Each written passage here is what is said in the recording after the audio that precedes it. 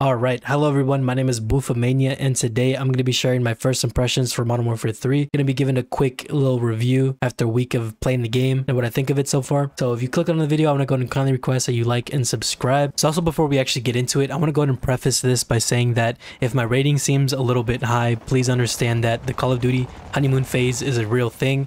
So take my rating if you perceive it as being a little bit too high with a grain of salt. Yeah, with that being said, let's go and get straight into what my experience has been like with the game what has my experience been like on MW3 and how much do I actually like the game? So right off the rip, I'm gonna go ahead and give you guys my rating. I feel like the game is a solid 7 out of 10. I at least acknowledge and know that the game is actually good. It does, it's not like terrible and it's going to age a lot better than Modern Warfare 2 because of how the game is actually built, the gameplay, the mechanics, all that good stuff. So yeah, 7 out of 10, uh, mainly like a, probably like a 7.5 out of 10. I'm, I'm enjoying myself. All right, so what are the things that I don't like about the game? What's weighing this game's rating down for me? And first and foremost, the spawns in comparison to when the game was out during its beta have improved, but there's so many times where I feel like I'm killing people and then I can't heal. I'm always like one shot, I'm always weak weak. I'm always trying to stay out of the action for a little bit to heal and I'm always getting shot. Always. There's always somebody. Every gunfight that I take, I'm always weak and I could do a better job of playing my life and just maneuvering around the map. The game does something weird and it's very annoying. They constantly spawn people behind you. I'm always getting shot in the ass. I've noticed numerous times when I'm playing the game that I kill somebody and then like two seconds later, that person that I just killed kills me as I'm shooting somebody else, but they kill me from behind or from the side. It's the most frustrating thing about the game and I don't understand what the spawn logic is. I have zero spawn knowledge. I'm max rank and I still don't know how the spawns work. They're very confusing to me. I just feel like I'm always getting shot in the back. The spawns need some more work. Highrise. If you get put on a really shitty team, you're not going to be able to do anything because usually what happens is I play against some absolute fucking grinders and they have map control and they're all holding an iron towards the side of the map that you're spawning on and it's impossible because they're just looking at the big windows. They're just mowing us down and there's nothing you can do and it's just annoying because you spawn in the same exact place every single time. So I'm gonna go ahead and segue into another thing that I don't like about the game and that's skill-based matchmaking. Oh my fucking goodness, skill-based matchmaking this year is eating my ass. Dude, I can't fucking compete and I don't get it. Listen, I played a lot of Modern Warfare 2 rank play. That's the main thing that I played. Is pretty much the only thing that I played for Modern Warfare 2. I grinded to Iridescent like three or four times. I've matched up against pro players, top 250 players. I know what it feels like to play against good players and playing these pub matches are honestly, I'm gonna go and say it. They're fucking harder. They, they require more patience and just, I don't know, attention than a rank play match takes. Like I've always been iridescent and dude, I find myself absolutely sweating sometimes because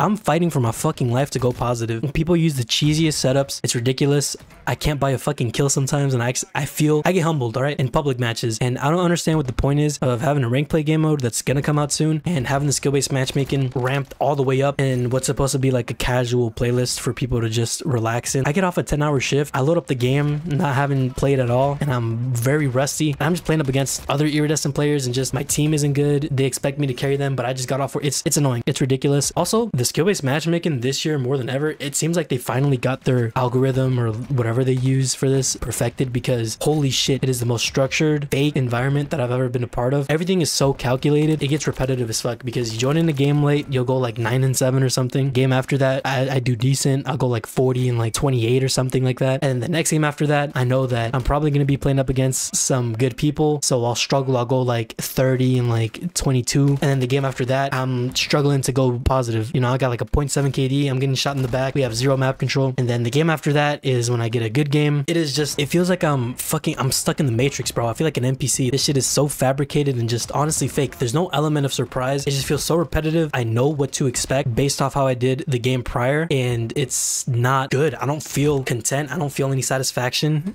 in playing something that's so repetitive and just so structured like that, if that makes any sense. I don't know if I'm doing a good job of explaining it, but it's honestly horrible. It's the worst shit. So besides the skill-based matchmaking, spawns. Another thing that I really dislike is the armory, but if we just kept it the way that it was before, where you just had to play the game and level up to actually unlock things, that would honestly be a lot better because it just everything seems so convoluted. There's like a million things that you have to track manually and then you have to complete your daily challenges. And then once you, you only get three of those per day by the way. And then once you get those three challenges done you have to win games and then that counts as completing a daily challenge. And that is a horrible way of unlocking things because it's very frustrating first off to do random ass daily challenges something like getting two kills with a claymore and it makes you play the game and experiment with different things. But at the same time, why? Why are we trying to get cute with this type of thing? Why don't we save this for like exclusively for emblems and calling cards? I don't, it just, it's a very bad idea in my opinion to unlock things this way. But outside of that, those are pretty much all the things that I don't like. Just the spawns, the skill-based matchmaking, the armory, the level cap, no prestiging. The main thing that matters to me though is how the gunplay is. What is it like to load into a game and actually get kills, play on these maps, play these game modes? How satisfying is it to actually use a weapon and get kills with it? And in my opinion, it's amazing. The gunplay is really fun. That's what keeps me playing. Using a weapon feels very satisfying. Getting a kill, being rewarded by like a satisfying hit marker sound or like the sound that, you know, getting a headshot makes and whatnot. That's pretty cool. It's probably something small, but to me, it's very important. It's a very big thing because if it were boring, then I most likely would not be playing as much and I just would not care about the game like that. And the movement obviously is an improvement for Modern Warfare 2. There actually is a skill gap that has been added to the game some because, you know, obviously if you have better movement and aim than somebody else, they're not going to be able to track you and you're going to be able to snap on them. Another thing that I didn't like about the game real quick is the menu UI. It is a complete copy and paste from last year's game, Modern Warfare 2. It is the exact same thing. The only thing that changes like the color instead of it being green, it's blue now. It's the exact same shit except like the colored tabs are different and that is ridiculous because that is boring. That is extremely boring, so lazy. You're paying $70 and if you ask the casual player to tell you the difference between the two menus, it probably wouldn't be able to tell you which one is which because the exact same shit minus a couple of color differences, which is pathetic because it just it feels fucking it's just mind-numbingly boring seeing the same menu over and over and over two years in a row now. So with that being said, let's go and get back into the positives. I promise, I promise I'm not trying to be negative here. It's just that the menu UI thing totally flew over my mind. So I had to add that in real quick. Back to the positives. The maps are also pretty decent, except they just play weird because the way that the spawns are and like a game mode like Hardpoint, that didn't even exist when these maps originally came out. So things are going to be a little bit wonky, but the maps are fun. This map, Skid Row, I didn't really like in the beta, but now that I've had a lot more playtime, I actually do enjoy it. I think it's, and yeah, I think the maps are actually a W, especially because a lot of people get to relive maps of the past. And I'm experiencing these maps for the first time because I didn't play Modern Warfare 2 like that. So a lot of this is still new to me and I'm having a fun time. Also, we have Dead Silence. Dead Silence, you can actually move around the map without getting sound by a fucking dork using a sound EQ and blasting his game audio. You can actually make plays on the map, flank people, shoot people from the side by making a good play and you don't get punished for that no more. So that's very important to me. And ultimately the good outweighs the bad. I know that skill-based matchmaking is bad and all that stuff, but honestly, it's just, just the way that gaming is these days. Everybody's just cracked out of their mind. Everybody has the best monitor. Everybody has the best shit. They got the best monitors on the market, 360 hertz. They got their modded controllers. They got cracked ass Wi-Fi, all that good stuff. You know, gaming just is a, it's an expensive hobby. So I don't expect everybody to be dog shit at it and just not try. But at the same time, the skill-based matchmaking algorithm just still be beating my ass sometimes and I don't like it. If you made it to this point in the video, I wanted to go ahead. I want to go ahead and thank you for doing so because it means the world to me, honestly. And again, if you haven't already, make sure you hit the like and subscribe button. It would honestly make my year. But yeah, let me go and let me know your thoughts on Modern Warfare 3 and hopefully you guys are having a good time. Again, I rate the experience for the game a 7.5 out of 10. And with that, I hope you guys enjoy the rest of your day. Deuces.